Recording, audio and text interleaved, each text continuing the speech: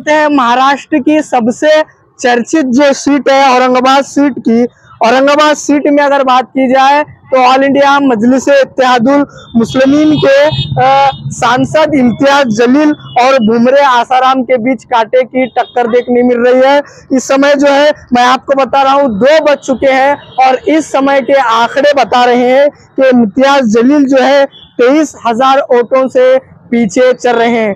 जी हाँ सही सुन रहे हैं आप, दोपहर के दो बजने को है और ऑल इंडिया मजलिस इत्यादुल मुस्लिमीन से सांसद जो है लोकसभा 2019 के लोकसभा चुनाव में जो सांसद बने थे इम्तियाज़ जलील, वो तेईस हज़ार एक सौ अड़सठ वोटों से पीछे दिख रहे हैं। जी हाँ सही सुन रहे हैं आप, इम्तियाज़ जलील, तेईस हज़ार एक सौ अड़सठ वोटों से पीछे चल रहे हैं उनके मुकाबले में जो है बुमरे आसाराम जो है, वो तेईस हज़ार एक सौ अड़सठ वोटों से जो है आगे चल रहे हैं। इनके बीच जो है कांटे की टक्कर देखने मिल रही है। संदेशा जो है ये भी लगाया जा रहा है, आशा ये भी लगाई जा रही है कि इम्तियाज़ जलील को वहाँ पर लीड मिलेगी, लेकिन दोपहर के दो बज चुके हैं।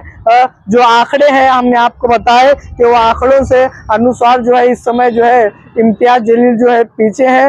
ओवैसी की पार्टी से जो इम्तियाज़ जलील आते हैं। एम आई एम पार्टी से 2019 के लोकसभा चुनाव में शिवसेना के जो वहाँ के सांसद थे, कई सालों से उनको हरा कर इम्तियाज़ जलील जो है वहाँ के सांसद बने थे, लेकिन इस समय जो है तेईस हज़ार वोटों से इम्तियाज़ जलील जो है पीछे दिख रहे हैं।